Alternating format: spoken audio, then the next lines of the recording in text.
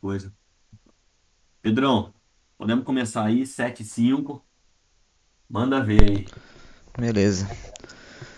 Bom, pessoal, boa noite a todos. É... Para quem não me conhece, eu acho que a maioria me conhece, meu nome é Pedro. É, eu estou no mercado há mais ou menos um ano, seis meses e acabei me especializando em dólar, é, mais especificamente dólar com leitura de fluxo. É, então eu opero dólar há mais de um ano, focado somente em dólar, agora que eu, que eu venho operando um pouquinho de ações, um pouquinho de índice com o pessoal aí, tá? E qual é a ideia de hoje? A ideia de hoje é a gente comentar um pouquinho sobre o dólar. O dólar ele tem algumas peculiaridades que os outros ativos não têm. Então a gente tem o dólar ele é um ativo mais complexo, então é, é mais trabalhoso lidar com dólar. Tá? Então eu trouxe alguns tópicos aqui para a gente comentar. É, quem quiser no meio da live, enfim, fazer alguma pergunta, fazer algum questionamento, é, podem me interromper, não tem problema nenhum. Fiquem à vontade, tá? Então vamos começar. É, queria trazer um pouquinho das características principais do dólar, né? Sobre em relação ao, aos contratos dele, como é que como é que funciona o mini dólar, o dólar cheio, é, os códigos do dólar, os vencimentos, né, as margens que a gente tem para swing trade day trade. Bom, então vamos lá. É, uh, o mini dólar, pessoal, o contrato hoje de mini dólar custa em média 50 mil reais, tá? É, o, o tique do dólar é 0,5 ponto, então ele se move em pontos que nem o índice, só que o índice é de 5 em 5 e o dólar é de 0,5 em 0,5. Tá? O ponto é, no, no mini dólar é 10 reais se tu estiver operando com contrato. O dólar cheio é 25 vezes o valor do mini, ou seja, é, 1.200, é 1 milhão 250 mil, é, em média o, o contrato do cheio, que no mínimo são 5 lotes do cheio no caso, né? Mas enfim. E 250 reais por ponto se tu estiver operando com o mínimo de lotes exigidos pela B3. Bom, como é que se forma o código do dólar? Tá? Então, o mini dólar a gente chama ele de WDO e o dólar a gente chama ele de DOL. Depois a, a gente tem o, a letra, né? O, a letra do mês que a gente vai estar tá operando. O dólar a gente sempre opera um mês à frente, então a gente está em junho e estamos operando o contrato de julho, que seria o N, a letra N. Eu botei aqui os códigos dos meses para vocês. Então a gente digita lá no, na nossa plataforma o WDO ou o DOL, enfim, o ativo que, que, que você queira operar mais o código do mês dele, mais o ano atual, que a gente está agora é, em junho, em junho é, a gente está operando o contrato de julho e então estamos em 2021, então fica WDO N21 e DOL N21. É, queria trazer um pouquinho das margens para vocês terem uma ideia da alavancagem do dólar, tá? Para day trade, a média das corretoras é R$ 25,00 e para o cheio é R$ 350,00 para tu operar o contrato mínimo deles. É, esses valores aqui eu peguei com, em referência ao BTG, tá? É, essa questão do swing trade no dólar. É, a Ariane que está aí vai, vai me corrigir melhor, eu nunca fiz swing trade no dólar. Então eu puxei esses valores lá do site do BTG, mas não sei se estão certos, tá? Mas tá aqui, o mini para tu manter uma posição de swing trade é 6.240 e o cheio 31.203 reais. É, não sei da se XP, é, é assim, Ariane? Então tá. da XP, da XP é assim. Eu não sei como é, se muda, se muda de corretora para corretora, mas na XP Aham. é. É, então, então fica nessa faixa aí pra tu operar dólar com swing trade. Né? Eu nu- nunca operei, então não vou conseguir falar certinho os valores para vocês. Bom, é, alguma das correlações que a gente tem com dólar é, eu trouxe aqui para vocês. Então, quando a gente tem um, um, um Estados Unidos, né, os índices futuros, a Nasdaq, o, o Dow Jones e o S&P 500 para cima, normalmente a gente vai ter um dólar para baixo. É, quando o Brasil, quando a- o Ibov está para cima, a gente vai ter um dólar para baixo também. E os nossos DIs, quando estão para cima, a gente tende a ter um dólar para cima também.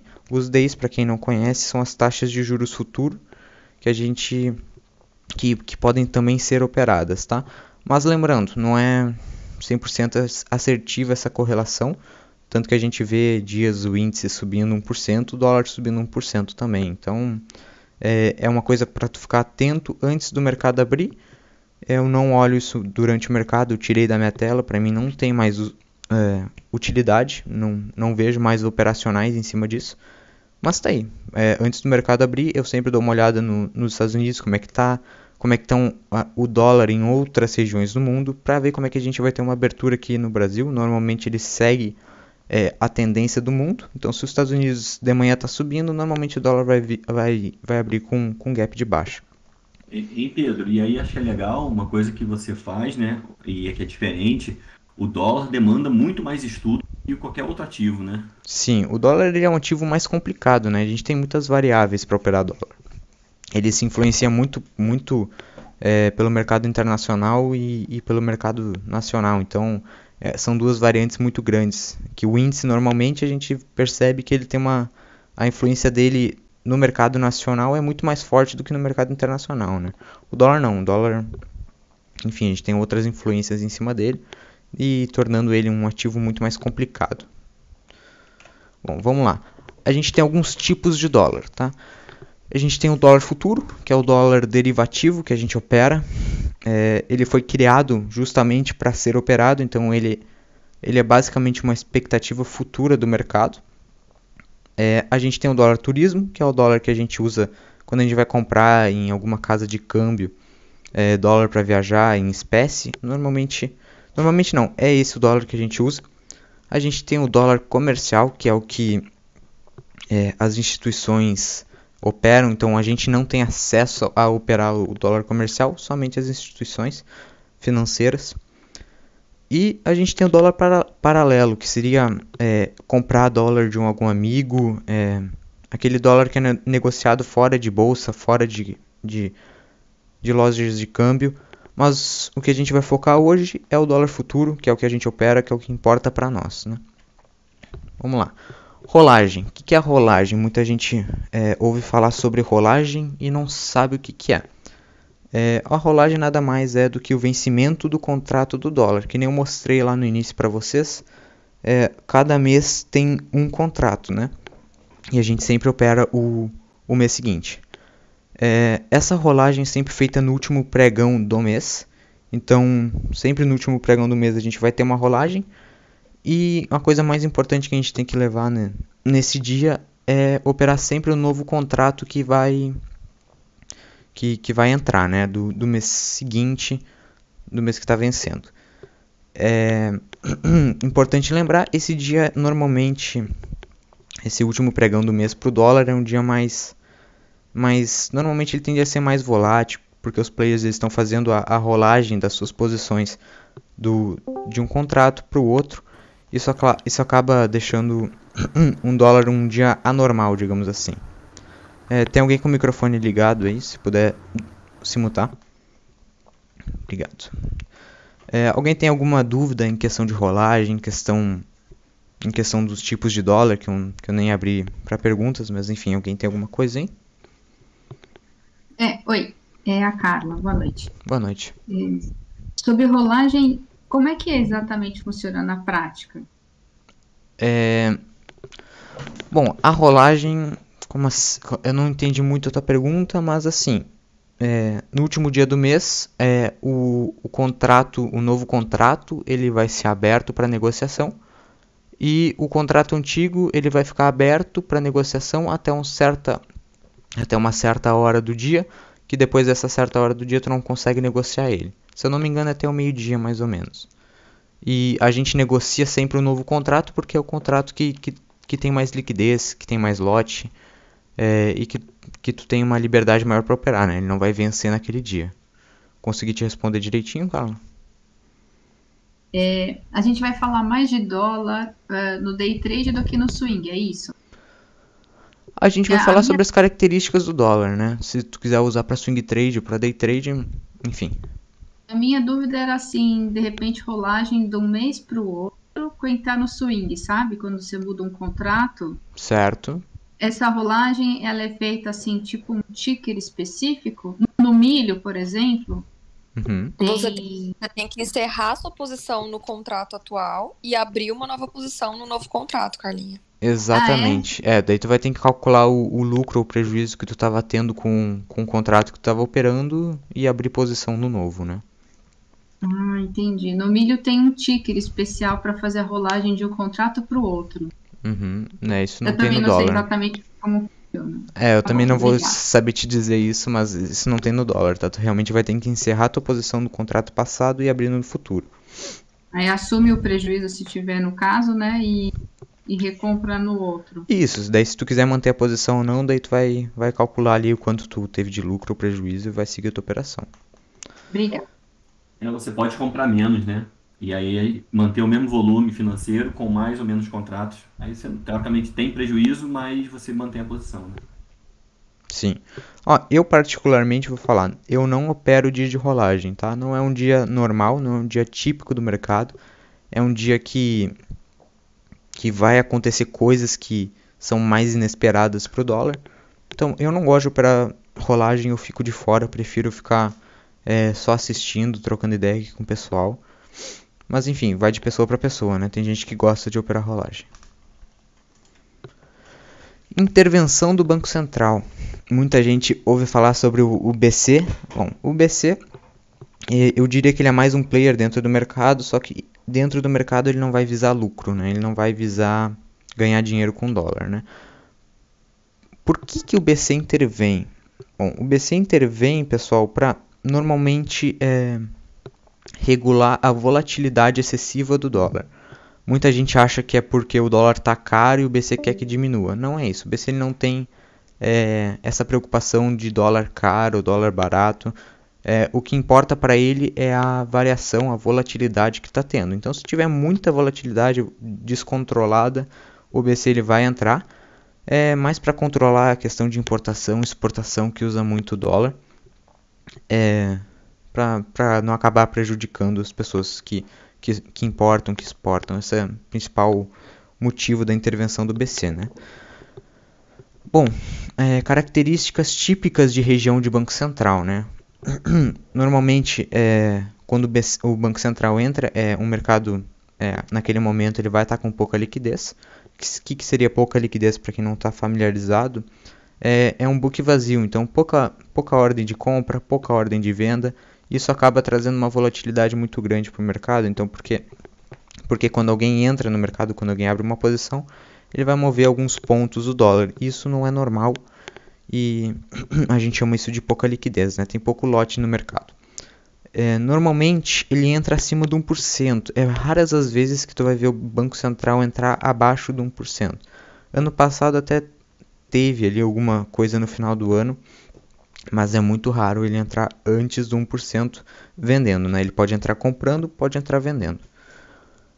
É, normalmente ele entra também quando o mercado está rompendo máxima, atrás de máxima, atrás de máxima, sem respirar. Então, é, essa questão da, da volatilidade, né? Então ele vem rompendo máxima o dia inteiro, vem rompendo máxima, vem rompendo máxima. E, então ele entra para dar uma segurada nessa, nessa euforia do mercado, digamos assim. E Bom, essas são as características, né? Então a gente, quando tiver algum, alguma dessas características, a gente fica um pouquinho mais atento em relação ao BC. Mas não precisa ter medo do Banco Central, tá? Ele é bem característico o, o, o dia que o Banco Central vai entrar. Quando vocês operam dólar, vocês vão perceber isso. É, a questão é, ele avisa antes de, de entrar o, o swap cambial alertado. É, quando o BC move o mercado, que a gente vê aquelas quedas de 40, 50 pontos, ele não avisa. Ele simplesmente entra. Ele tem algum, alguns modos de entrar, então ele pode entrar no dólar comercial, ele pode entrar no dólar futuro, pode entrar só no dólar comercial, ou entrar nos dois, enfim. Tem vários tipos de, de jeitos do BC intervir, mas isso fica para a próxima, não, não tem como explicar isso aqui. Desculpa. É, não tem como explicar isso aqui muito para vocês, que é um, vai virar um assunto muito complexo. Eu queria passar mais o básico para vocês aqui.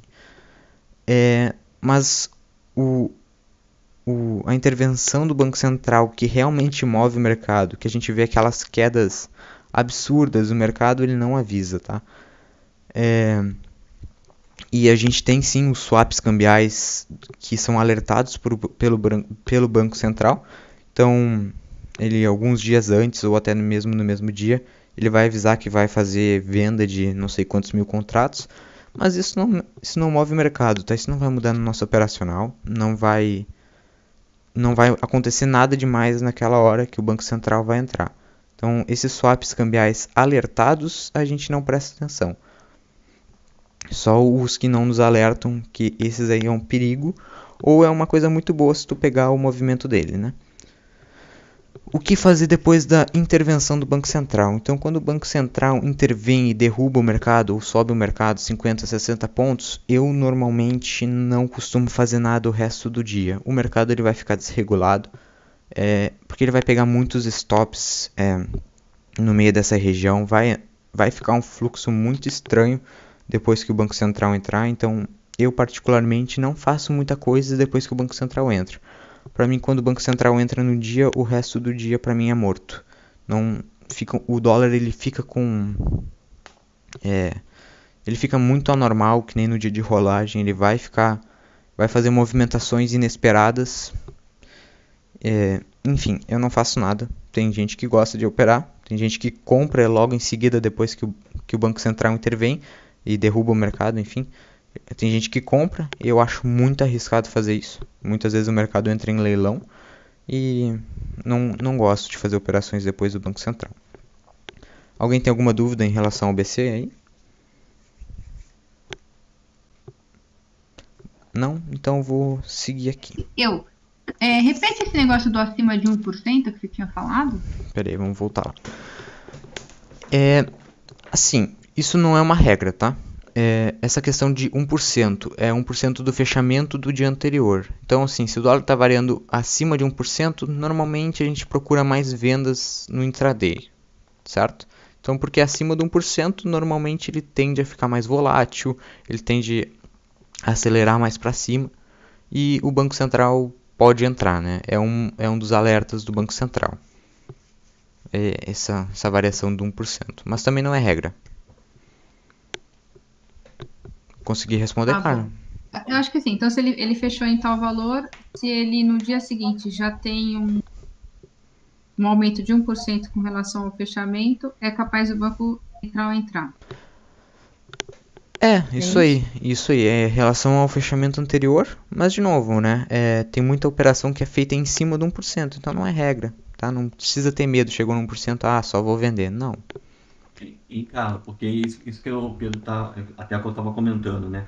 Uh, em relação à característica do dólar, os, o pessoal estuda bastante e sempre separa assim o quanto que é 1%, 2%, 3%, isso faz parte do operacional de muita gente. É como se fosse o ponto de pivô, entendeu? Que a gente utiliza no índice, o Storm pra gente. Uh, é como se fosse o ponto de pivô do dólar. Essa coisa do percentual de variação. Então, muita gente tem no setup é, entrar vendido quando bate 1%, entrar vendido quando bate 2%. Exatamente. É, Entendi, obrigada. Uh, o que muitas vezes as pessoas que operam dólar fazem é deixar uma, um, um, lote apregoado no, na variação de 1% e quando chegar lá eles vendem. Porque normalmente muitos robôs trabalham em cima das variações e realmente funciona. Isso é, isso é uma operação bem boa, na verdade, eu faço bastante. É, e tem uma ferramenta no Profit chamada análise de variação. Lá tu vai conseguir ver direitinho é, onde que vai ficar 1%, 2%, 3% é, daquele dia. Isso Normalmente o pessoal faz tanto na variação do dia, quanto da máxima e do mínimo de, do dia, e do fechamento do dia anterior. Isso, tem variação em cima de ajuste. Eu só levo em consideração a do, do fechamento do, do dia anterior, mas conheço pessoas que fazem é, operações em cima da variação do ajuste. Né? Então. Bom saber, não sabia não. É, na, na, nessa ferramenta análise de variação lá vai ter a do fechamento e a do ajuste. É interessante ter ela na tela. É, mais alguma pergunta? Ou podemos seguir? Pode seguir. Então vamos lá. Ajuste. É, isso tem no índice, tá? Então a maioria que está acostumado com índice é exatamente a mesma coisa. É, ele basicamente, se tu está posicionado de um dia para o outro, ele vai ajustar a tua posição no ajuste. Ou seja, quando é, tu dormiu posicionado no 500 e o ajuste foi no 530, o mercado no dia seguinte, a tua ordem de, de compra ou de venda, enfim, vai estar tá posicionada no ajuste, no 530, né? Então, a tua ordem vai ser automaticamente levada para lá. Tu vai ganhar sim a diferença de é, se tu estava posicionado no 500, o mercado foi para 30 e tu estava comprado, tu vai ganhar essa diferença, né? Então tu não vai perder nada com ajuste. É, mas basicamente isso, é que nem o índice. O dólar, em, em específico o dólar, ele tende a respeitar demais o ajuste. É, normalmente é milimetricamente o, o, o, que o dólar faz no ajuste. É, não sei se no índice é assim, nunca é, nunca nunca operei índice em cima de ajuste para ver, mas pelo que eu percebo ele também respeita bastante. Depois vê o gráfico de hoje você ver. Depois a gente Bom. abre então. Vamos dar uma olhada. Não, eu, eu, eu, eu só opero o dólar, tá, pessoal? Então, de índice aqui, eu sou novato. Bom, a janela do ajuste, que, quando a gente fala janela, é o horário que ele vai contabilizar o ajuste do dia. Ela abre das 16 até as 16 e meia, tá? Se eu não me engano é isso, tá? Eu, eu sempre levo em, considera em consideração o horário das 16. E então nessa, nessa janela do ajuste entre as 16 e as 16 e meia, Normalmente a gente tem um, uma briga maior, uma quantidade de lotes maior. Hoje mesmo, hoje eu estava operando às 14 às, às 4 horas da tarde e realmente, é, geralmente ele tem muito mais briga né, nesse horário por causa do ajuste, né? Os players eles vão tentar levar o ajuste para cima, para baixo e a média, se eu não me engano, é aritmética desse, dessa janela, das operações, do volume que aconteceu nessa janela, vai definir um ajuste para o dia, para o próximo dia, né, onde todo mundo vai ser ajustado. Alguma dúvida em relação ao ajuste?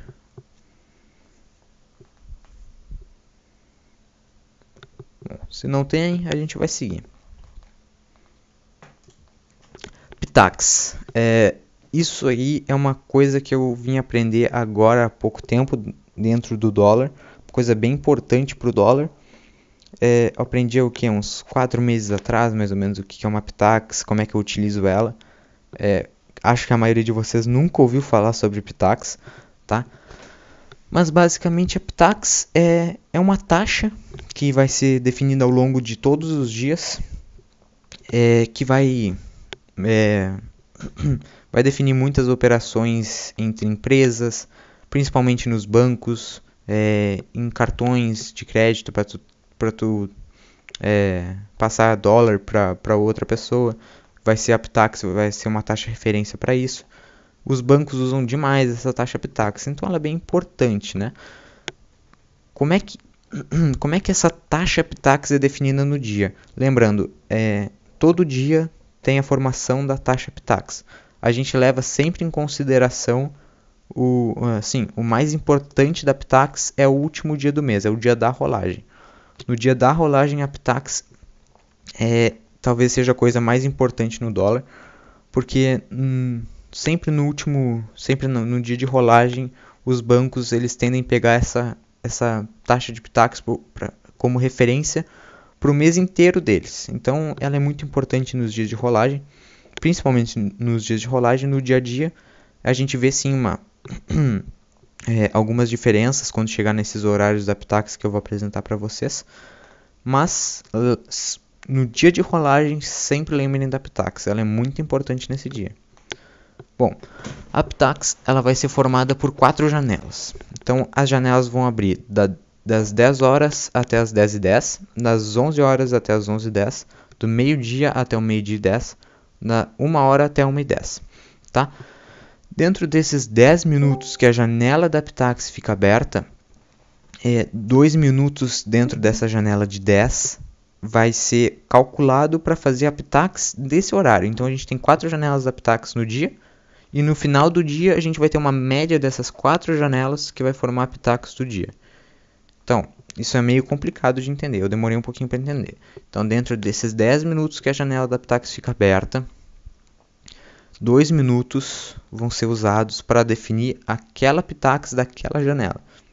Então, digamos assim, a janela da Pitax abriu às 10 horas, Só que a Pitax em si não, não começa a ser contabilizada às 10 horas normalmente, tá? É, ela vai, sei lá, digamos que hoje é, começou a ser contabilizada a Pitax às 10 e 03 e às 10 e 05 a gente vai ter o fechamento da Pitax, sempre 2 minutos. Onde é que eu posso ver isso? No, na- nas notícias do Profit, tu vai ter essa informação de quando a, janela da Pitax vai ser aberta e quando ela for fechada. Tem como tu botar um alarme, eu até posso mostrar para vocês depois se alguém tiver interesse. É Como, como fazer esse alarme é um pouquinho é, difícil, de, fa- difícil não, mas é um pouquinho escondido de fazer esse alarme da, de avisar quando a janela abre e quando a janela fecha. E, enfim, o que, que a gente vai fazer durante esse período? O, o mercado ele segue normal, o mercado ele não vai entrar em leilão, não vai acontecer nada. Única coisa que a gente vai ter é a briga pela Pitax. Então os players vão tentar querer. os, pay- os players que naquela janela quiserem levar a Pitax para cima vão tentar levar para cima.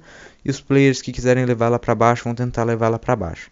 Tá? O que muitas vezes a gente percebe, eu até vou abrir uma ferramenta para mostrar para vocês, é, é que os players eles fazem o seguinte: digamos que a janela, é, digamos que aqui seja o 10 no dólar, aqui seja o 20, certo? É, normalmente, é, quando a janela da Ptax abre, os players ou eles puxam para baixo ou, eles- ou eles puxam para cima. Isso quando ela abre. Daí eles ficam, eles levam o mercado para onde eles quiserem. E quando fechar a janela da Ptax, digamos que fechou aqui no 20, então aqueles dois minutos fecharam aqui no 20, muitas vezes o mercado ele devolve todo o movimento que ele fez para só ele é como se ele tivesse subido 10 pontos do 10 para o 20 só para fazer a Ptax, só para fazer a janela da Ptax. Então muitas vezes o que eu faço é esperar a janela da Ptax fechar e, co- e contra o movimento que os players fizeram, que normalmente, normalmente não, mas muitas vezes ele devolve é, esse movimento que foi feito para fazer Ptax. Já peguei ótimas operações assim. É interessante ficar de olho nisso. É, mas dentro do operacional normalmente não vai mudar nada para quem opera gráfico. Quem opera fluxo vai perceber isso mais, mais fácil, vai ser é, e vai realmente ser um operacional. Para quem opera gráfico não, não vejo muita diferença, tá? Mas é, é legal ficar atento nesses horários porque caso aumente a, a volatilidade do mercado, vocês já sabem. Entre 10 e 10 e 10, janela, ah, as janelas da Ptax são essas aqui. É, é legal ficar de olho durante o dia. Alguém já conhecia isso aí, pessoal? Eu não. Eu já conhecia porque eu trabalhava na tesouraria da Braskem, então todos os nossos contratos de financiamento de nafta e de é, financiamento offshore era tudo baseado em Petax, então Legal, legal. Bom saber disso, tá? Nunca tinha ouvido falar de, de alguma empresa que, tinha, que, que fazia isso. Eu também, eu também uso o Petax também para fazer cálculo de, de produtos, que eu, é, produtos e contratos também. A gente usa a Petax como base para poder fazer cálculos. É, a Ptax é realmente bem importante dentro do dólar. Mas assim, Ariane e Leila, vocês já tinham visto essa formação, sabiam o horário, conheciam o processo na, na hora de operar? Já porque Não. lá na Braskem eu, eu trabalhava na tesouraria, então a gente tinha Bloomberg e eu operava na Bloomberg, né? Então eu tinha que fechar muito câmbio justamente por conta disso. Então eu tinha uma janela que eu tinha que fechar de câmbio de dólar para poder mandar para fora. E aí eu tinha que trabalhar, eu tinha uma meta que eu tinha que trabalhar sempre 50 bips acima da Petax ou 50 bips abaixo da Petax, depende do, do que, que eu tava fazendo, de qual ponto eu tava fazendo. Então, por isso que eu já sou um pouco mais familiar com isso. Então, Beleza. tu vai saber explicar Não, muito na melhor que o verdade, Ptax, então. Uso a Petax como base, mas eu não tinha nem noção como ela era formada, que tinham quatro janelas, enfim. Eu não sabia o que estava por trás, mas eu só uso como base para aplicar aos contratos, né? E, e venda de óleo, né? Eu trabalho para uma empresa de petróleo. Show de bola. Então a Ariane vai poder explicar muito melhor pra vocês o que é Ptax. Falei alguma Uhum. coisa muito errada aqui, Ariane? Falei alguma coisa Não, aqui? na verdade, você falou de uma maneira muito simples o que o pessoal tenta complicar. Muito simples e muito clara. que bom. Eu, eu realmente demorei um pouquinho para entender o que, que era Aptax. Sempre ouvi falar, nunca sabia o que, que era. Mas. Sim, e de fato é, é muito importante realmente para os bancos, porque todos eles pegam como, como principal ferramenta para poder realmente efetuar esses empréstimos. E, e final de mês sempre é extremamente importante, porque é quando eles fazem justamente o ajuste de todos os contratos, né, que eles têm com todas as empresas, basicamente. Sim. É, na, na, na hora da Ptax a gente realmente vê uma mudança no mercado. É, uma coisa que eu queria levar em, em, chamar a atenção de vocês é eu eu Pedro não opero nada em cima do valor que saiu a Ptax. Então digamos que a foi definida é, no 30. Esse 30 aqui para mim eu nem tenho ele na tela, tá? Para mim tanto faz se ela foi no 30 no 20. Eu quero mais pegar aquele movimento que eu falei de, de retorno é, dessa movimentação que os players fizeram para fazer Aptax.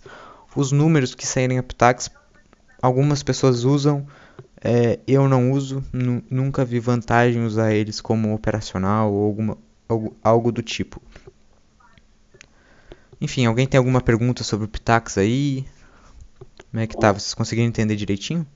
Pedro, mas na, na hora quando você está operando fluxo, você vê player defendendo Petax aí, e você usa isso para co construir a fita da história para frente ou nem isso você usa? Sim, assim, na hora que chegar a, a, janela, a janela da Petax, sempre vai ter uma briga. Sempre vai ter uma, uma alguns lotes maiores saindo. É, não, é, é, difícil ver claramente defendendo, sabe? Aquela questão, ah, entrou compra aqui. É difícil ver isso no fluxo é um pouquinho mais embaçado, mas sim, essa defesa é, é visível. É... Desculpa, me esqueci outra pergunta, era sobre operar. É que assim, é, a, a, só, só, pegando um gancho do que você falou, Pedro, que você nem olha para Petax durante o dia. Se você prestar bem atenção, né, durante essas quatro janelas, é, Petax é justamente a média do, dos maiores valores negociados durante esse período. Então, vai se assemelhar muito ao VWAP na, na, VWAP na época, entendeu? É então, verdade. Vai estar é tá operando basicamente a Petax. É, é verdade, né? É... Eu não olho, então, o, o valor que saiu a Petax, ah, mas eu olho muito a VWAP, então é verdade o que a, que a Ariane falou. N nunca tinha reparado nisso, Ariane. Alguma pergunta mais em relação a Ptax? Eu posso fazer uma pergunta mais. É... Talvez infantil, não sei. Fique à vontade. Então, então vamos supor, o dólar está em algum momento, às 10 horas, 5,210. Certo. E até às 10h10 ele chegou no 5,220. Certo. Quando fechou a janela 5,220, você entra com uma venda para chegar pelo menos a 5,210, é isso? Se eu ver pessoas, se eu ver players defendendo essa região do 20, então aqui chegou, ó, do 10 foi pro 20, entrou venda no 20, fechou a janela da Ptax. Esse é, é o fechamento da janela da Ptax vai ser um motivador de entra, vai ser um motivador para mim continuar no trade. Ele não vai ser um motivador para mim entrar, e sim para mim continuar esse movimento. Ser um alongador, digamos assim. É, com, consegui te responder, Carmen? Acho que sim. Pedro, será que, esse, que, que o próprio valor da Petax ela também serve como memória de preço? Porque se você considera que a Petax é, é o que todos os, os, os players ou todas as empresas ou bancos que forem fechar qualquer tipo de câmbio em D2 eles usam com base a Petax, teria uma força de memória bem alta nesse valor, né? Então, isso poderia ser um teste que a gente teria que fazer. Nunca fiz esse teste. É, eu normalmente quando opero dólar eu tenho alguns alguns pontos que eu tenho ali de briga, enfim. E mas eu sempre opero o fluxo do dia, né? O fluxo que vai me guiar. Então, se eu não tivesse esses pontos, eu operaria normalmente também. Então, para mim não faria muita diferença, mas para quem opera gráfico, é, pode sim fazer um teste. Acho que seria bem bacana. Entendi. Bom, vamos seguir, pessoal. Se alguém tiver alguma pergunta aí, pode falar. Ô Pedro, você Fale. opera isso através de quê? De escoras?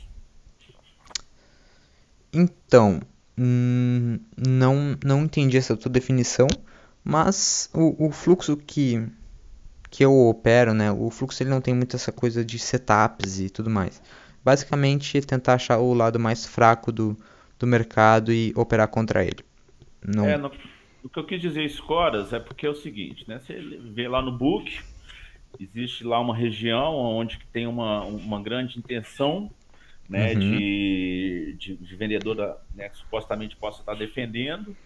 E aí a escora é o sentido, por exemplo, o último preço ali que tem o maior, o último lote grande, né? Depois que começa os lotes cair, é, entende-se de que se o, né, o mercado está querendo consumir aquela região inteira ali, então entende-se dele continuar o seu conti- continuar o seu movimento, entendeu? Então, se a escória que eu, que eu, que eu falo é que vamos supor, até os 70 tem ah, 100 lotes, depois dos 70 já não tem mais lotes expressivos, entendeu? certo.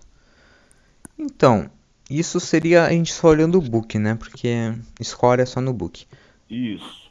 É, eu não gosto, assim, pra mim o fluxo ele precisa necessariamente do Times and Trades e do book. É, só, só olhando o book eu não tiro nenhuma conclusão dali. Porque o book pra mim não, não faz muito sentido sem o Times. Então, por isso que eu falo até pro pessoal aqui, é, entrando um pouquinho, saindo um pouquinho da parte de dólar, mas entrando na parte de operacional, que não é o que a gente quer bater aqui, debater aqui, mas falando rapidinho, é, quem eu, eu falei pro pessoal aqui, dei minha opinião, que quem usa o, o- aquele book visual no gráfico e não usa um times e não sabe ler fluxo, eu falei assim, ó, isso vai te enviesar e na minha opinião não vai ter utilidade é, operacional em cima disso, na minha, na minha opinião, né? E, e, pessoal, só, só para até vocês ouviram bastante, perguntei pro Pedro recentemente sobre aquela história do Bradesco, tá? Do Bradesco tá sempre que a gente tá com aquele com aquele mantra na cabeça que o Bradesco tá do lado certo do trade no e normalmente XP e os outros estão do lado errado. Aí o Pedro explicou bastante pra gente na sala que pode até ser mas é muito difícil de de tá, de tá acontecendo porque vários players entram e saem pelo meio por, por várias por várias corretoras diferentes. É, hoje, por exemplo, eu estava com ele na tela e a gente viu o Bradesco perder pra de, de todos os lados, né, no futuro. Mas só, só para aquilo que o, que o Pedro comentou agora, é, a gente quando tem só olhando aquele fluxo, aquele desenho do saldo, a gente pode estar se enviesando, enviesando na nossa análise técnica, entendeu? Ele falou que a gente precisaria de mais ferramentas para poder estar tá, confirmando se aquilo ali tá, é verdadeiro ou não, tá? Não, eu concordo, a gente é muito imaturo na leitura de fluxo, a gente não sabe fazer nada, na verdade. Aí, a gente olha o Bradesco e fala, ó, o Bradesco comprando. Pô, quero achar um motivo para comprar também. Exatamente. Exatamente, Rodrigo. E, e no Pedro. dólar, O Pedro me doutrinou nisso aí, tá? É, é o que eu falei pro Rodrigo, né? É uma coisa que a gente pode analisar, fazer uma estatística em cima. Acho muito difícil fazer esta- estatística em cima disso, né? É, é uma coisa complicada realmente. É, eu de jeito nenhum usaria isso. É, mas no dólar, é uma característica do dólar, a gente percebe quem opera fluxo há um tempo e tem essa tem um, bastante tempo de tela que cada corretora tem normalmente suas peculiaridades. Então, é, tu vai ver corretoras entrando de um jeito diferente. Tem corretoras que levam mais o mercado, corretoras que defendem mais um preço sem mexer muito no mercado, eles, ela só simplesmente não deixa passar daquele preço. A gente tem sim essa questão de características de corretoras, mas isso tem que ter um tempo de tela muito grande no fluxo para realmente identificar e, e não é sempre que acontece, né? Não é um operacional. É só uma, uma, é, uma característica que é, que é legal observar. Bom, vamos seguir então, pessoal. Acho que da Pitax foi, foi bem falada. Chegamos na última parte, depois a gente pode trocar uma ideia. Eu queria passar um vídeo do Banco Central, de uma intervenção do Banco Central aqui para vocês. É horários para prestar, prestar atenção no intraday do dólar, tá? 9 e meia. Geralmente a gente tem números para sair. É, a gente vai ver isso no, no Investing. Eu só levo em consideração que eles querem 3 estrelas, ou dependendo, tem alguns dados que no Investing são 2 estrelas, mas são dados importantes. É, Pedro, só, só um minutinho. É, tem uma coisa que eu esqueci de falar, até comentar contigo para falar, falar um pouquinho do payroll, cara. Porque acho payroll. que tem gente que não sabe o que que é o payroll, opera dólar e não tem, não tem a real noção aí do que pode acontecer. Cara, eu acho que eu tirei o payroll, mas ele tava aqui. Mas enfim, vamos, vamos falar assim, só deixa eu terminar essa parte de horários e a gente fala sobre payroll. É, 10 horas a gente tem a abertura do mercado à vista e a abertura da, da janela da Ptax, da primeira janela Ptax do dia. É, 10 e meia a gente tem a abertura do balcão de Nova York, né, da, da NICE. Normalmente essa hora entra um pouco de fluxo maior também. Não entendo até hoje o motivo, falar bem a verdade, mas é, realmente é, às 10h30 normalmente o mercado tende, o mercado de dólar tende a se dar uma movimentada um pouquinho com mais lotes, ter mais briga. É 11 horas a janela da Ptax. É 11h30 a gente também normalmente tem números é, com três estrelinhas para sair esse horário. Meio-dia a terceira janela da Ptax. Uma hora a última janela da Ptax e média da Ptax do dia, então ele vai pegar as quatro janelas da Ptax e vai formar a média. E essa hora vai, quando sair a última janela da Ptax, é, às vezes demora um pouquinho para sair a outra, às vezes não. A, a, a média da Ptax do dia, né, no caso. E às 16 horas a gente tem a janela do ajuste. É, ficou claro? Alguém tem alguma dúvida em relação a esses horários? Alguém quer acrescen- acrescentar alguma coisa? Não? Enfim, vamos falar um pouquinho de payroll. É, O que, que eu posso falar de payroll? Payroll basicamente acontece na primeira sexta-feira do mês, no primeiro pregão que acontece na sexta-feira do mês. E é uma bateria de dados de desemprego nos Estados Unidos, que são muito importantes, é, o- é a bateria de dados mais importantes que sai nos Estados Unidos. E todo mundo sabe, quem já, já viu um payroll rolando, é que a volatilidade é realmente absurda. E esses números, essa bateria de dados sai sempre. Vou, é, deixa eu ver se eu consigo abrir um texto. Ele sempre vai sair na primeira sexta-feira feira do mês às 9h30. Então, o que, que a gente pode fazer esse horário é nessa, nessa, nessa hora, né? Eu, eu não opero, não recomendo ninguém ficar posicionado em dia de payroll, é, principalmente às 9h30. Eu só opero payroll de vez em quando depois do meio-dia, porque até lá o mercado ele vai realmente ficar estranho. É, e o que, que acontece para o payroll ser tão volátil, né? Muita gente não sabe por que, que o payroll é tão volátil, mas basicamente é porque os players é, eles tiram os lotes deles da tela, eles cancelam os robôs que eles têm ativo, então o book ele vai ficar vazio, vai ficar com muita pouca ordem e qualquer é, tomada de posição ou batida de posição vai mover muito dólar. Então é é por isso, né? Nem porque entra muito volume, na verdade não, é porque entra pouco. É, tiram os players eles tiram esse- esses lotes que eles tinham e pra, pra não ficar posicionado na hora do payroll, né? É, o payroll ele é um, um dado realmente muito importante nos Estados Unidos e que realmente move o mercado. É, ah, os, os números que saem são muito importantes para a economia americana. É, o, o principal dado de, do payroll é a taxa de, de desemprego do mês e, e ela normalmente de, que define o payroll, né? A gente tem cinco, cinco números, se eu não me engano, para sair e o mais importante é realmente a taxa de desemprego mensal. Rodrigo- Pessoal, alguém tem alguma experiência aí com operar, operar com payroll? Já sabiam disso? Não sabiam?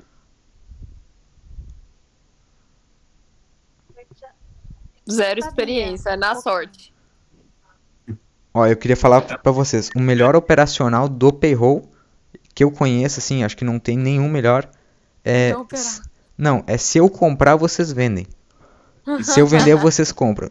Dia de payroll eu não opero de jeito ganha. nenhum. É, exato. Assim, eu já, se eu não me engano, eu já vi 14 payrolls.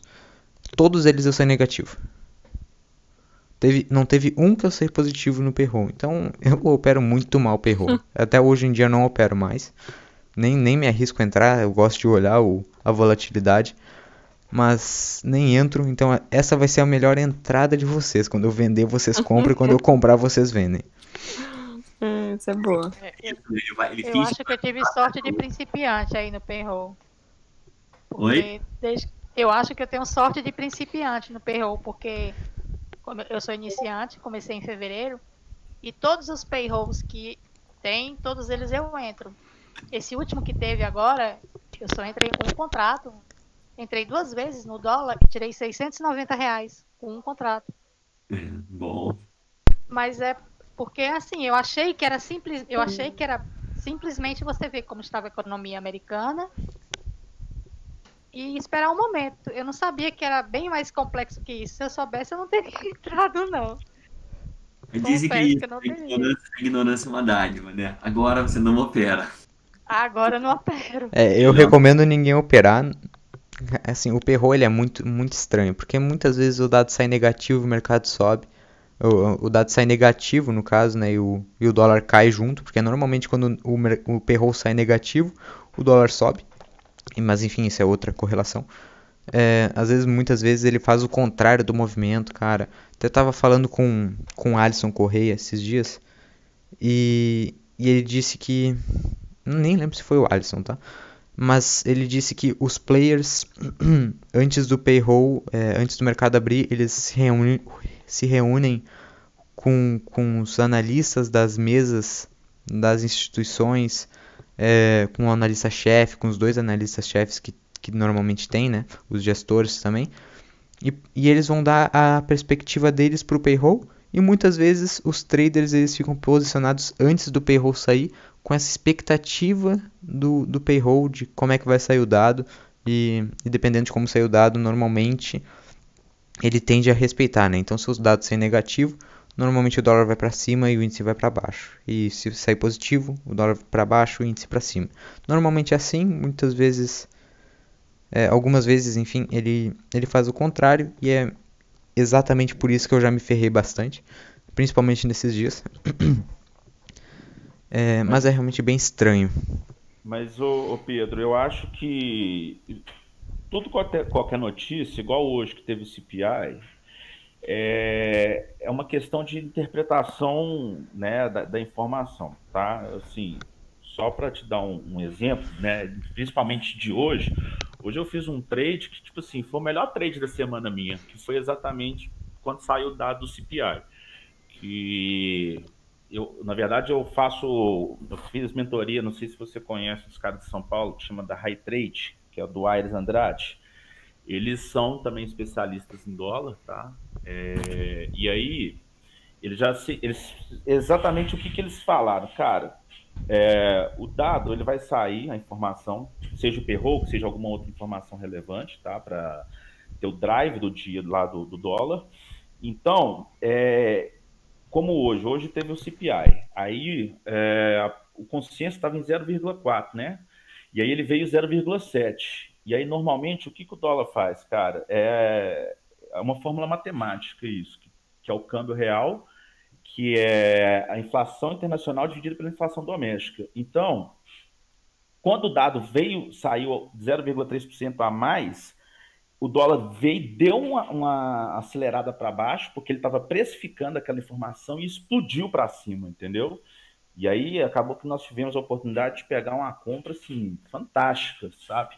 E eu acredito que aconteça também a mesma coisa com o payroll e qualquer outra informação que vai, que vai fazer a movimentação do dólar. Ele sempre faz aquela precificação. Então, por exemplo, às vezes o, o dado do payroll veio um, um, valor distorcido do que estava no consenso para menor, digamos assim, aí o dólar vem, ele dá aquela paulada para cima e depois ele chega derretendo.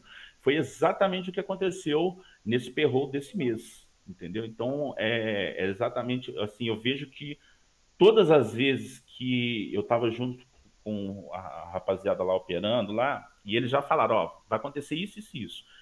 Exatamente por causa da fórmula que, de, de, de câmbio real, entendeu?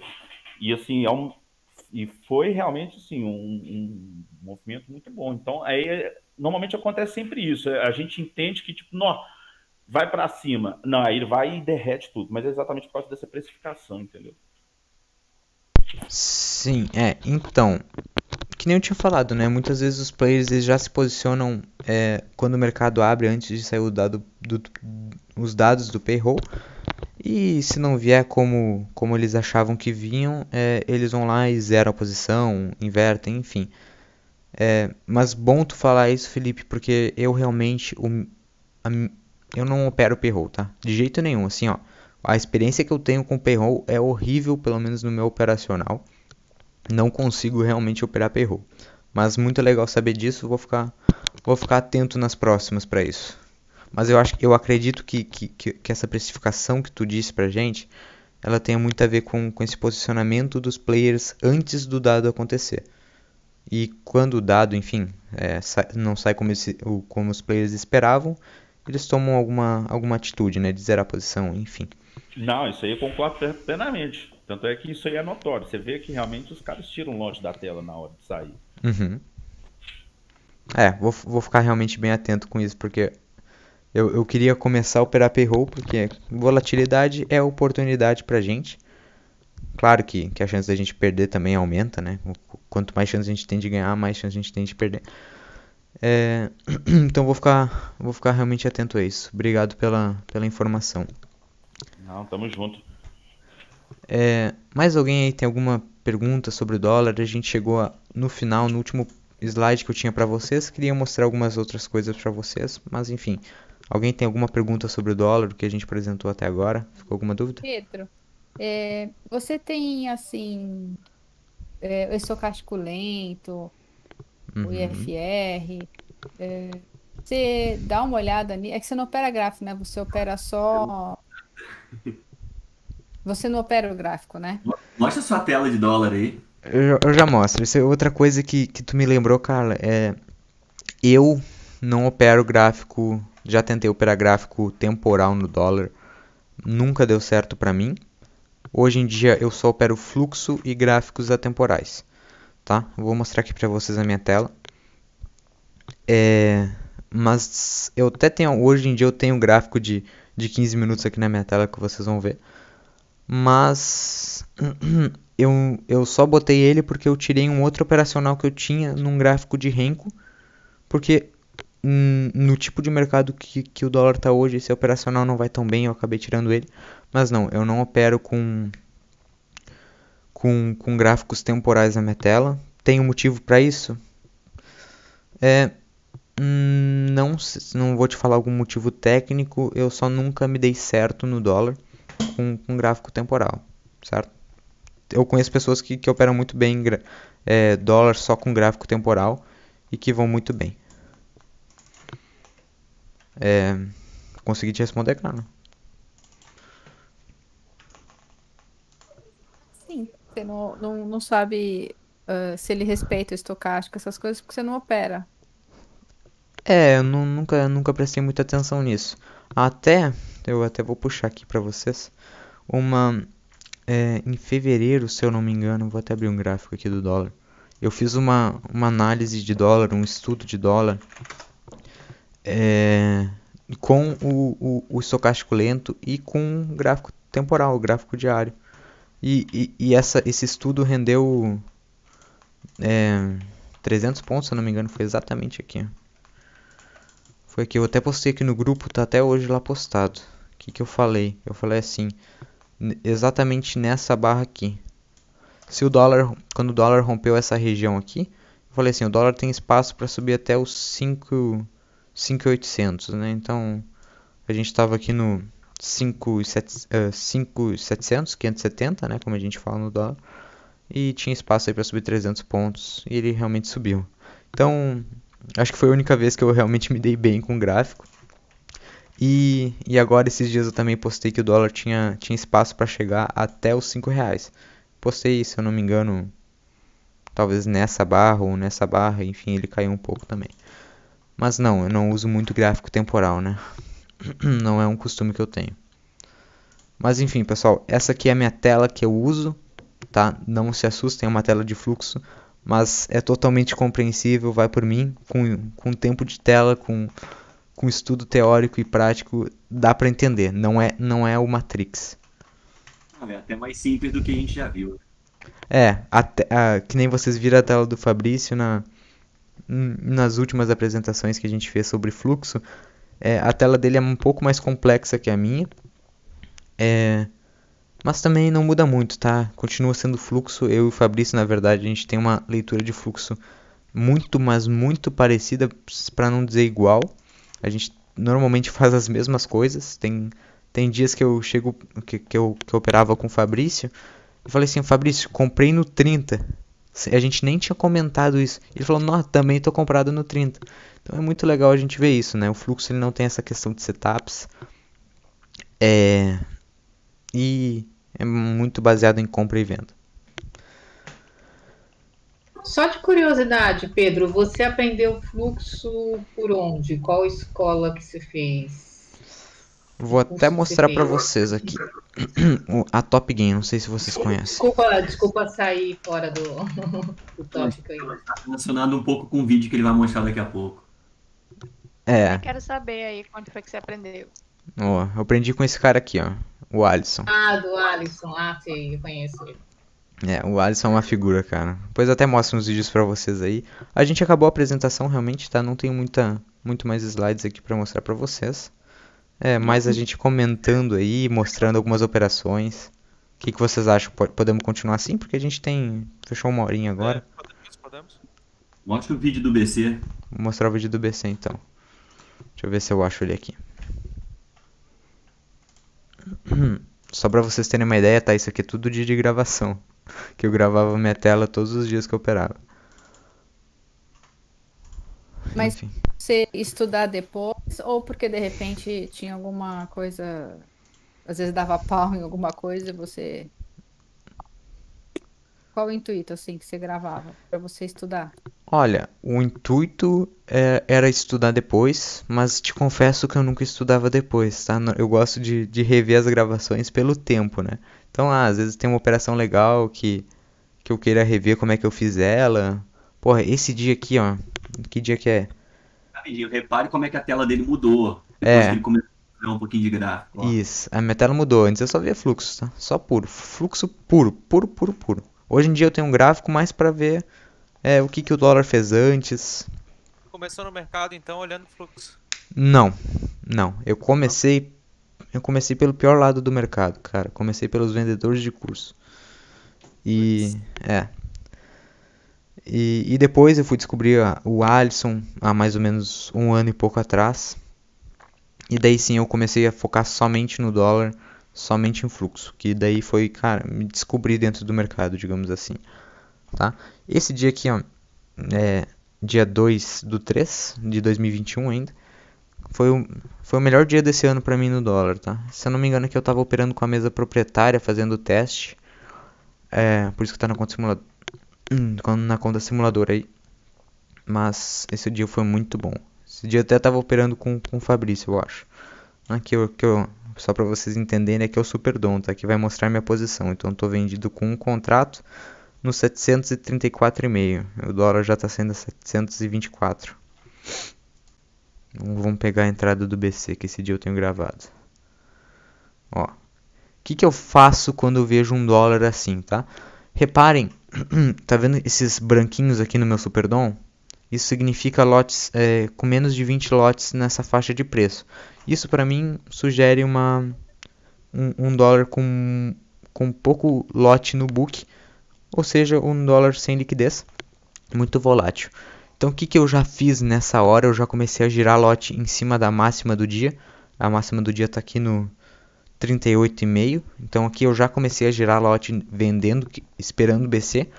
Eu até tenho o áudio dessa gravação que nesse dia eu falei, cara, hoje o BC vai entrar. Eu até vou cortar os vídeos e postar aqui depois. E que realmente esse aqui é um dia característico do BC. Eu já tinha pego um BC é, na, uh, um pouco mais cedo, eu já tinha feito uma operação de Banco Central, mas foi, um, foi uma entrada do Banco Central é diferente, não, não uma entrada tão comum. Que foi até essa operação aqui, ó. Mas enfim, vamos lá. Olha aqui eu, eu sempre estava querendo vender na máxima, esperando o BC entrar, né? O dólar nessa faixa de preço, faixa acima dos 5,50, normalmente o, do, o BC entra mais forte. Digamos assim, ele tende a entrar mais, porque quanto mais para cima o, o dólar tá, essa é uma outra característica, mais volátil ele fica. Então ele fica com menos lotes no book e mais volátil. Percebam de novo, essas marcas brancas aqui significam que tem muito pouco lote. Então, se um player é, comprar, sei lá, 50 lotes do cheio, ele vai mover muito o mercado. Isso não é legal. Vamos achar a entrada do BC.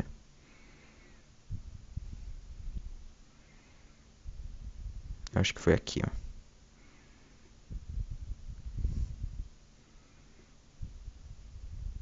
Aqui. Ó, reparem que eu tô vendido lá em cima, tá? Então eu tô vendido com um contrato no, no 744 que, que nem eu estava comentando com vocês, eu estava fazendo aquele giro de BC, que é ficar vendendo em, em uma região importante para o BC, né? Então reparem o que, que o mercado vai fazer.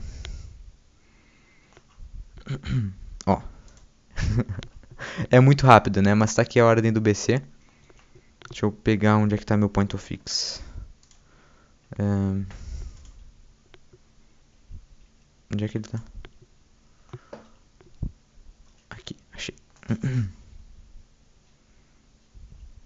Aqui, ó. Tá, eu não consigo abrir os dois juntos, mas enfim. Deixa eu ver aqui. Aí, agora foi. Ó, reparem que aqui, ó, é a ordem do BC. Então, ele entrou é, pela C6, tá? O BC, tu não vai ver o BC em si agredindo o mercado. Então, o BC ele não dá ordem no mercado pelo BC. Ele usa outras corretoras, o que a gente chama de dealers no dólar, né? É, são corretoras que são que o BC usa para entrar por elas. Então aqui a gente tem essa ordem de mil contratos do cheio, bom lembrar que isso aqui é o cheio, dólar cheio, é, vendidos pela C6. Isso que o dólar estava saindo nessa região do 37, eu estou vendido no 34, no 44 e no momento o dólar está saindo, nem dá para ver onde é que o dólar está saindo, tá? Aqui ó, última último lote dele saiu no 19,5. Então a gente está vendido lá no 44 e o dólar sendo 19,5. É, isso aqui é bem no segundo que o BC entra, tá? Então vocês vão ver a loucura que o mercado fica depois. Aqui eu já estou pegando 28 pontos e meio que a minha meta diária no dólar é 10 pontos, tá? Só para vocês terem uma ideia. Ó. Ó, olha, reparem no book. Reparem no book. Lembra que eu comentei para vocês esses branquinhos? Olha a quantidade de, de branquinhos que tem no, no meu dom. Isso aqui é tudo região sem lote, não tem lote aqui. Daí aqui tem um lote de 400, um lote maior. É, mas o book tá vazio. O spread, spread, o que, que é o spread, né? Outra coisa legal de comentar sobre o dólar é que ele abre muito o, o spread. Que seria basicamente é, a diferença entre a última oferta de compra e a última oferta de venda. Por que, que isso é importante? Quando esse spread é grande, o, o dólar tende é, a ser mais volátil. Tende não, ele, é, ele fica mais volátil, né? Porque a gente tem uma diferença entre comprador e vendedor muito grande. Normalmente, num dia normal, um dia equilibrado, não existe spread no dólar, então hum, quando acontece isso, é realmente tem que tem que estar tá acontecendo alguma coisa diferente no dólar, tá? Então reparem aí que, ó, isso aqui é tudo região de preço que, que não tem ordem e sempre tem ordem, tá? O dólar ele é muito tem muita liquidez no dólar. Então reparem como é que é uma entrada de BC. O dólar estava sendo lá no 740 e agora já está no 714 aqui. Eu zerei minha posição aqui no 17, pegando o que?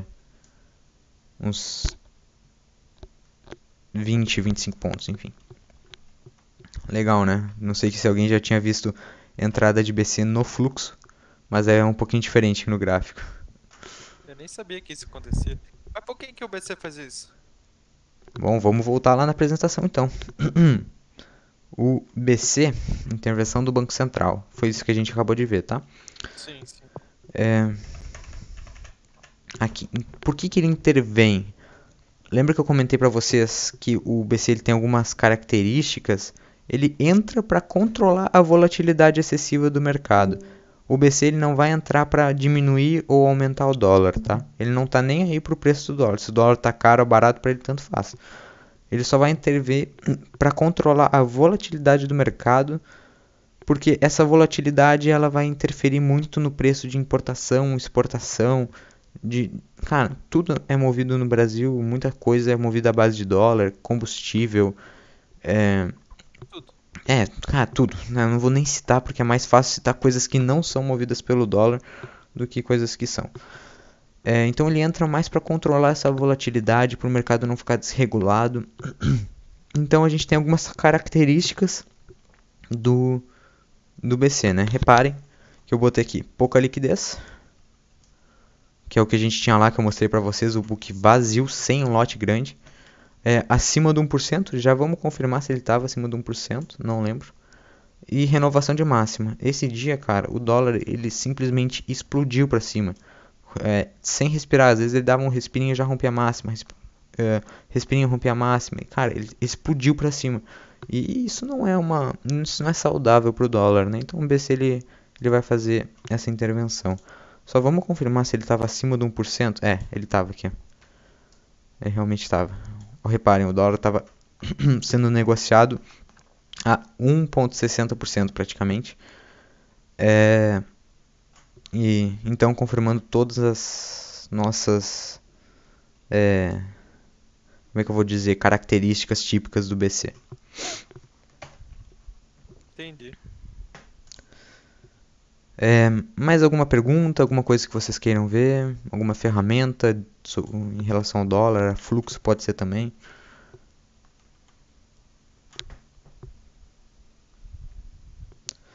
Eu tô tranquila. Vou mostrar aqui então para vocês a análise de variação, né? Que, que a gente tinha comentado um pouquinho antes. É, basicamente aqui ela vai me dar a variação de 1%, para baixo, para cima, um, 2%, 3%, enfim.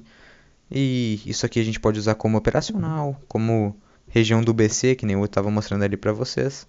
É bem legal essa ferramenta, vale a pena ter na tela, se alguém tiver um Essa espacinho. variação é com relação a que exatamente, Pedro? Então, dá para configurar essa ferramenta, tá? Eu botei aqui, ó, fechamento anterior, tá vendo? Ah, tá. Mas tem como adicionar o ajuste. Então aqui a gente vai ter em relação ao ajuste anterior Ah, e ao fechamento. Eu é, só vejo so- o- a variação sobre o fechamento. Para mim a do ajuste não, não faz sentido a gente Uhum. olhar. É, mais alguma coisa, pessoal? A gente tem, tem um tempinho aí. Eu tô tranquilo, não sei como é que vocês estão. Eu achei bem interessante a apresentação aí. Eu nunca operei dólar. Pra mim é tudo novo ainda. Eu tô só aprendendo ainda mesmo. É muito legal.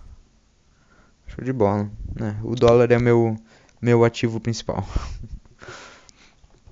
É, bom, pessoal, quem tiver alguma dúvida pode falar agora, pode me mandar no privado depois, mandar aí no grupo. É o que eu puder ajudar vocês em relação ao dólar, que, que é o que eu mais posso ajudar vocês, eu diria. É, eu estou aqui.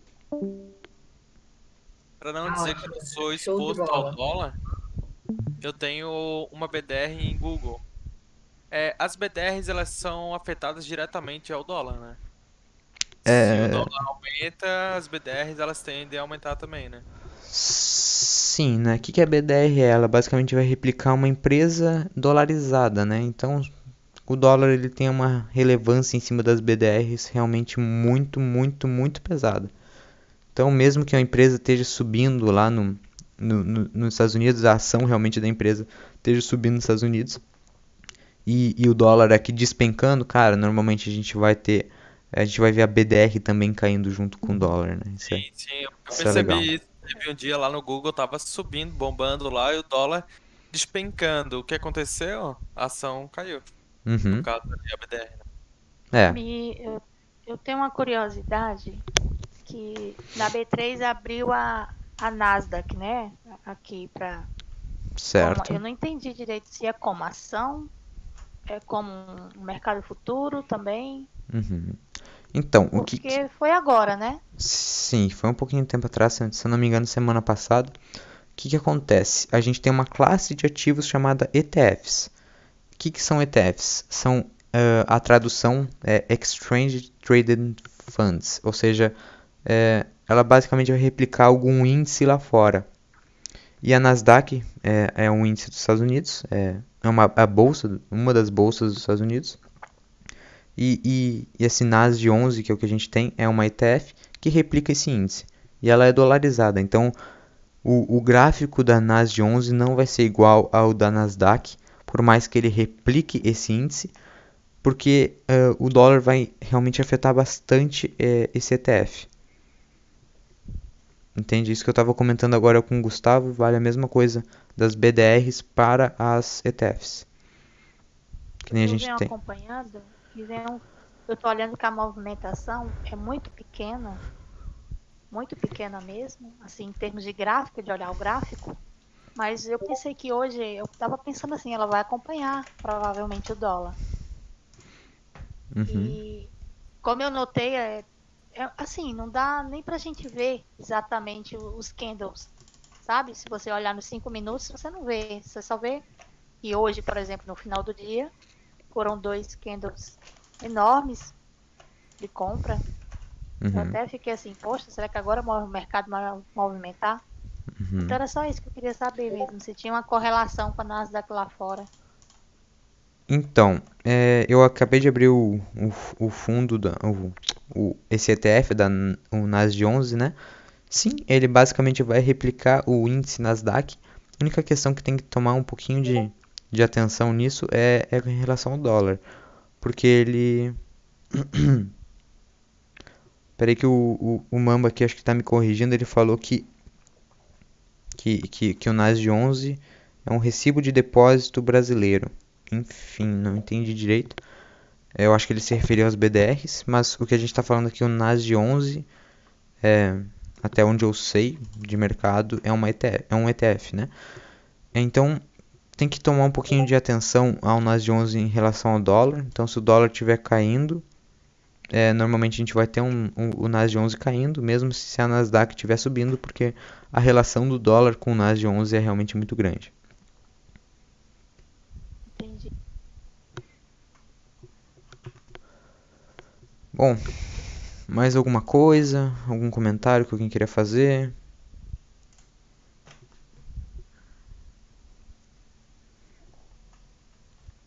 Não? Não, não, muito, muito legal. Obrigado. Muito, ba muito bacana a história do fluxo. Obrigado pela explicação. Foi, foi show. Pedro. Fale, Leila. Oi, só mais uma, uma, uma dúvida aí, voltando à parte do curso, porque eu estou interessado em fazer curso de fluxo, né? Não sei se vai mais me atrapalhar ou se vai me ajudar, mas enfim. Uhum. É... É, esse curso que você fez da Top Game, ele é só voltado para índice dólar ou é também fluxo em ações? Então, Leila, o que, que eu vou te falar? Não é um curso da Top Game, é um curso do Alisson Corrêa em si. A Top Game ah, é, é uma. Do Alisson. Isso, ah, o curso que eu. Assim, eu fiz vários cursos, tá? Já fiz muito curso dentro do mercado. Acho que eu, a última vez que eu contei eu tinha feito 22. É. Mas o, o principal curso de tudo fluxo... de fluxo? Não, não, daí de tudo, né? Daí Ah, bom, falei, mas quem tá mostrando Ai, cara. É, não, de fluxo eu acho que eu só fiz uns 5, 6. O... Mas é, o principal curso, um treinamento, enfim, que eu fiz foi com o Alisson, realmente. Mas espera aí, qualquer coisa pode me perguntar, Leila, mas talvez a gente tenha, tenha algumas novidades aí, né, Rodrigão, em relação ao Alisson. Uhum, tá. É que eu acompanho o Alisson no, no Instagram, né? E, é que eu acho ele tão assim. É, como é que eu vou dizer? Uma palavra sem ser. É palhaço, é assim, tão brincalhão. Sim, é. Será que dá para aprender com ele? Porque, é, é, cara, você ri o tempo todo com ele, né? Uhum. Ele é uma figura. Eu falei, mas dá para aprender com ele? Cara, É aí que é interessante. Não é, ou é só eu que acho isso, né? Eu acho uma figura. Não, uma figura. todo mundo acha, tá? Vou te falar assim, todo mundo acha. Cara, Ah, mas assim, bom. a história que o Alisson tem dentro do mercado, eu ah, até recomendo o livro dele pra vocês, o Sobe e Desce da Bolsa e da Vida. Um livro muito bom. Não, não tô querendo fazer comercial pro Alisson, né? Mas como eh, a gente entrou nesse assunto, é, é legal comentar que a vida de bolsa do Alisson é, é muito, cara, é muito impressionante. Vale todo mundo a pena ler a história dele, mesmo que não opere fluxo, é muito, muito interessante, né? Ele já passou, ele já foi day ele já foi trader de grandes corretoras, é, tesourarias, ele já teve fundo, cara. O Alisson é, é o é um, é um dos principais especialistas de tape reading do, do Brasil, tá? Ele não sabe ver um gráfico, tá, Leila? Então vou te falar assim: se tu der um gráfico na frente dele, ele não sabe nem o que que é um candle. É, é, ele só vê fluxo. Mas para quem quiser aprender fluxo, cara, eu acho que vale muito a pena. É, para entender como é que o mercado funciona, né? Como é que, como é que as compras e as vendas é, movem o mercado. Vale muito a pena para qualquer pessoa. Eu diria que é obrigatório as pessoas aprender fluxo. Mas se tu quer realmente operar com fluxo, vai, vai exigir um tempo de tela muito grande. É, um, tu vai precisar de um tirar um tempo realmente só para focar nisso. Então assim, se tu tá indo bem com gráfico, foca no gráfico. Se teu, se teu estilo é o gráfico, vai no gráfico. Não, não tem um melhor, não tem um pior. Eu me, eu me achei com fluxo. Hoje em dia eu até tô aprendendo muito de gráfico aí com vocês. É porque você, come... você já começou com fluxo, né? Você não, não, não começou pelo gráfico, né? Não- O primeiro contato que você teve foi fluxo, né? Hum, então, não. Mas. ah, Não? não, não, pior que não foi. É, eu, eu já fiz mu- muita coisa com gráfico, mas o, a maior parte do tempo que eu tô no mercado foi realmente com fluxo, né? Com puro fluxo. E então por isso que eu acabei me es- me esquecendo um pouco os gráficos e, e não, não tenho essa habilidade toda que, que o Rodrigo, que, que vocês têm aí com, com gráfico, né? Eu tô, eu sou um iniciante no gráfico, até quero aprender muito mais é, de gráfico com vocês. Cada um vai Ótimo. somando o conhecimento, né? Então, o que eu puder ajudar em fluxo com vocês, estou aqui. Ótimo, então. Obrigada, Pedro, pela apresentação. Nada. Bom, pessoal, acho que é isso. Mu- Muito obrigado pela presença de vocês. Eu que agradeço, tá? Qualquer coisa me mandem aí no privado, podem fazer perguntas agora também. Eu estou disponível. Valeu, gente. Muito obrigado aí. Boa noite aí. Até amanhã. Amanhã cedo a gente tá aí na live de manhã. Obrigada, pessoal. Boa noite. Obrigada. Boa noite, pessoal. Obrigado, Tchau. obrigado, boa noite. Boa noite, pessoal. Tchau, gente. Obrigada.